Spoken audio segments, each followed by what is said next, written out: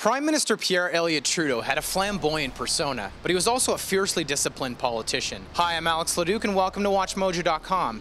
Today we're speaking with biographer John English to learn more about Trudeau's life behind the scenes and how it affected his politics. What were his biggest personal frustrations or any flaws he was never able to overcome? He was very troubled with the death of Laporte. Uh, Pierre Laporte was assassinated. He was with Margaret Trudeau. They were not yet married, but she was staying with him at 24 Sussex. She uh, saw him just fall apart and go into tears. But those who worked with him said that he did seem very steely and he seemed to have that capacity. He was being challenged and he loved challenges and he was going to stand up for them.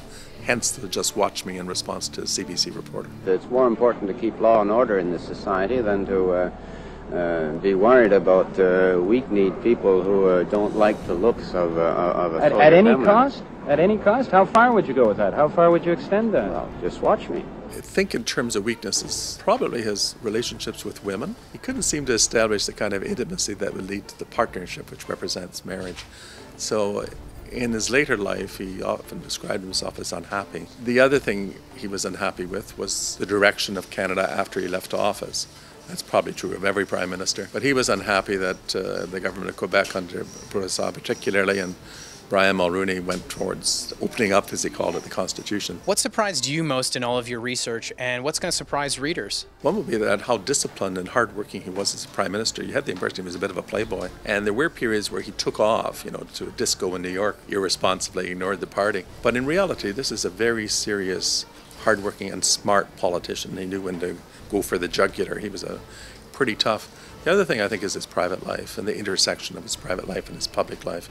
He didn't have an election in 1977, but he would have won overwhelmingly because of his marriage breakdown. That's why. You did not write in your book about an affair with Jordan's King Hussein that was written in the newspaper. Well, I never had an affair with uh, Jordan's King Hussein. Similarly, I think his closest confidants were his female companions, and they tended in the 80s to be anti Reagan and anti Thatcher, and I think it made him uh, more determined to be so. Those instincts would have been in that direction in any event. Much was said when you published the first book about Trudeau's relationship with Catholicism.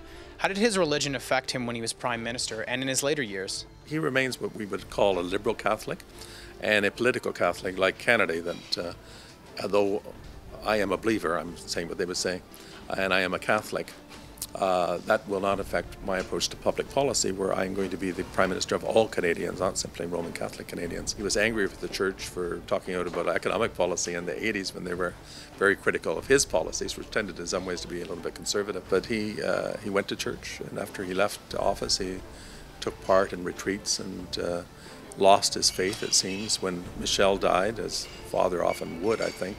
But then, of course, he died a Catholic in a a ceremony that was fully within the tradition of the Roman Catholic Church. Well, thanks very much for your time.